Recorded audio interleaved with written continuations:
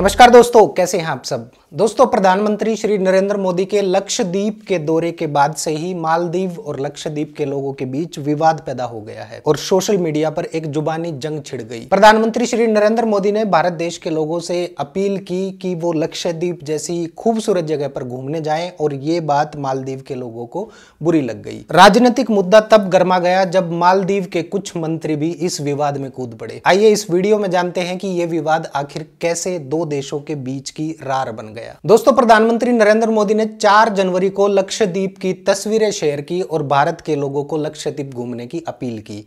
और ये बात मालदीव के कुछ मंत्रियों को खल गई और उन्होंने प्रधानमंत्री मोदी और भारत के विरोध में टिप्पणी करनी शुरू कर दी, जिसके बाद दोनों देशों के बीच एक नया विवाद पैदा हो गया। हालाँकि मालदीव सरकार ने मामले को ठंडा करने के लिए आपत्तिजनक टिप्पणी करने वाले मंत्रियों को निलंबित कर दिया है और कहा है कि इस तरह के बयानों को बर्दाश्त नहीं किया जाएगा। इसके बाद 8 जनवरी 2024 यानी सोमवार को भारतीय विदेश मंत्रालय ने भारत में मालदीव के हाई कमिश्नर अब्राहिम साहिब को बुलाकर प्रधानमंत्री नरेंद्र मोदी और भारत को लेकर सोशल मीडिया पर की गई आपत्तिजनक टिप्पणियों पर गंभीर चिंता जताई है। अब बात आती है कि यह विवाद पैदा कैसे हुआ। आपकी जानकारी के लिए बता दूँ कि इस पूरे विवाद का जनक सोशल मीडिया है और इस मामले ने सोशल मीडिया पर ही तूल पकड़ा। जब पीएम मोदी ने लक्षद्वीप के दौरे की तस्वीरें सोशल मीडिया पर शेयर कर लक्षद्वीप घूमने की अपील की, ठीक उसके बाद कुछ लोगों ने सोशल मीडिया पर कहना शुरू कर दिया कि पर्यटकों को अब मालदीव नहीं, लक्षद्वीप जाना चाहिए। और ये बात मालदीव के लोगों समेत सरकार के मंत्रियों को भी बुरी लग गई और उन्होंने भारत देश को लेकर उल्टी सीधी टिक्का टिप्पणी शुरू कर दी। आपकी जानकारी के लिए बता दूँ कि मालदीव के कुछ सोशल मीडिया एक्टिविस्टों और राष्ट्रपति मोहम्मद मुइजू की सरकार के कुछ मंत्रियों को लक्षद्वीप से मालदीव की तुलना बुरी लगी और उन्होंने प्रधानमंत्री और भारत देश के खिलाफ आपत्तिजनक टिप्पणी करनी शुरू कर दी।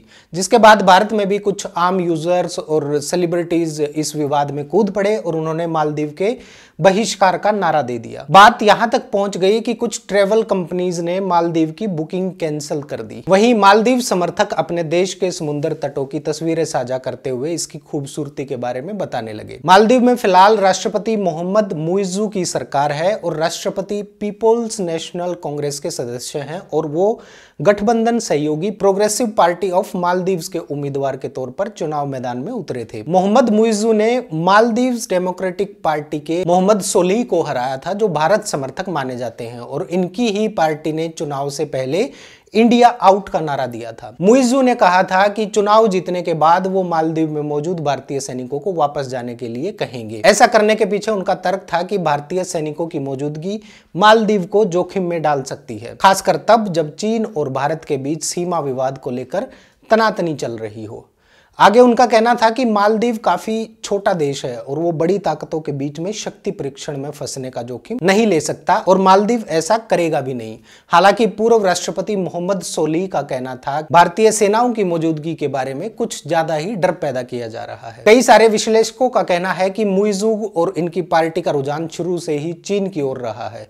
चुनाव जीतने के बाद पहले तुर्की और फिर चीन की उनकी यात्रा इस बात का सबूत है, जबकि इससे पहले मालदीव का कोई भी नया राष्ट्रपति बनता था, सबसे पहले वो भारत का दौरा करता था। मुइजू की जीत के बाद मालदीव में भारत विरोधी और चीन समर्थक ज़्यादा मुखर हो गए और इसकी छाप चार पाँच दिन पहले शुरू हुए लक्षद्वीप और मालदीव विवाद में देखने को मिली। मालदीव समर्थकों ने अपने देश की शान में कसीदे पढ़ने शुरू किए और भारत, भारतीय नागरिकों और प्रधानमंत्री नरेंद्र मोदी पर आपत्तिजनक टिप्पणी की, जिसका भारत भारत समर्थकों ने भी खुलकर जवाब दिया। भारत में कई सेलिब्रिटीज मालदीव के बहिष्कार की अपील करने लगे। जिस तरह की टिप्पणियाँ की जा रही थी, उनसे ऐसा लग रहा था, मानो वो भारत की विदेश नीति के अनऑफिशियल स्पोक्स पर्सन हो। बॉलीवुड सुपरस्टार अक्षय कुमार ने अपने ट्वीट में कहा, हम अपने पड़ोसियों के लिए अच्छा रुख रखते हैं, लेकिन बगैर किसी वजह से फैलाई गई नफरत क्यों बर्दाश्त की जाए? मैं कई बार मालदीव गया हूँ और हमेशा यहाँ की तारीफ़ की है, लेकिन हमारी गरिमा सबसे ऊपर है। आइए अब हम भारतीय द्वीपों पर जाएँ और अपने देश के पर्यटन को मदद करें। सोचने वाली बात है कि जब मामला दो देशों के बीच का हो और ऐसे में किसी देश के मंत्री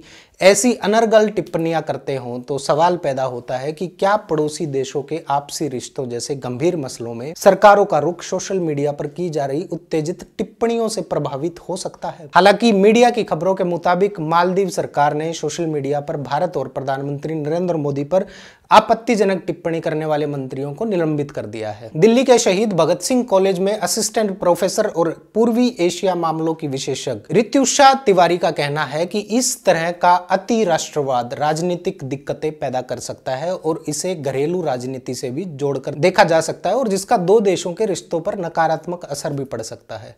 ऋतुषा का मानना है कि भारत में आने वाले दिनों में चुनाव होने वाले हैं, जिसके कारण इस तरह की प्रतिक्रियाओं को राजनीति से जोड़कर देखा जा सकता है। और उनका लाभ उठाने की कोशिश भी की जा सकती है। विशेषज्ञों की माने तो मालदीव की बड़ी आबादी भारत की समर्थक है, जहाँ विपक्षी राजनीतिक दल भारत समर्थक है और भारत के लिए वहाँ काफ़ी स्पेस है, जिसका जीता जागता सबूत है। लक्षद्वीप मालदीव विवाद में भारत और प्रधानमंत्री नरेंद्र मोदी के खिलाफ की गई टिप्पणियों के बाद वहाँ के जाने माने लोग और विपक्षी राजनेताओं का भारत के समर्थन में आगे आना। खुद मालदीव के विदेश मंत्री मूसा जमीर ने कहा है कि भारत के खिलाफ इस तरह की टिप्पणियाँ मंजूर नहीं की जा सकती। ये मालदीव की सरकार का आधिकारिक रुख नहीं है। वहीं पूर्व राष्ट्रपति इब्राहिम सोलीह ने कहा है कि दोनों देशों के बीच सालों पुरानी दोस्ती पर नकारात्मक असर डालने वाले इस प्रकार के संवेदनहीन बयान देने की इजाज़त नहीं दी जानी चाहिए। आपकी जानकारी के लिए बता दूँ कि सोलीह के राष्ट्रपति रहते हुए भारत और मालदीव के संबंध काफ़ी करीबी और अच्छे रहे थे। इसके अलावा मालदीव के कुछ और नेताओं ने भी भारत को लेकर की गई टिप्पणियों का विरोध किया है। मालदीव के पूर्व विदेश मंत्री अब्दुल्ला शाहिद का कहना है कि सार्वजनिक पदों पर बैठे लोगों को मर्यादा बनाए रखना चाहिए। मालदीव के एक और पूर्व राष्ट्रपति मोहम्मद नसीद का कहना है कि मालदीव सरकार की मंत्री मरियम एक ऐसे प्रमुख सहयोगी देश के लिए आशा बोल रही हैं जो मालदीव की सुरक्षा और समृद्धि के लिए अहम खतरा है। मुइजू सरकार को ऐसे बयानों से दूर रहना चाहिए। विशेषज्ञ भारत को मालदीव में मिलने वाले इसी समर्थन की ओर इशारा करते हैं कि भारत को मालदीव के खिलाफ इतना कड़ा कदम नहीं उठाना चाहिए कि भारत समर्थक लोगों को भी अपने रुख पर सोचना पड़े। अच्छा होगा कि भारत एक बड़ी ताकत होने के नाते परिपक्वता दिखाए और इस मामले को यहीं रोक दे। दोस्तों, मेरा मानना है कि अगर हमारे देश का प्रधानमंत्री या किसी भी देश का प्रधानमंत्री अपने देश के किसी भी हिस्से की खूबसूरती की तारीफ़ करता है और देश के लोगों को वहाँ घूमने जाने की अपील करता है तो इसमें किसी दूसरे देश को तकलीफ़ नहीं होनी चाहिए। दूसरी बात, सोशल मीडिया पर उपजे विवाद में सरकारी अधिकारियों या मंत्रियों को उसमें शामिल होने के बजाय उसको शांत करने और उसको रोकने के उपाय करने चाहिए। आप लोगों का क्या मानना है? कमेंट करके बताइए। मिलते हैं अगली वीडियो में तब तक के लिए नमस्कार।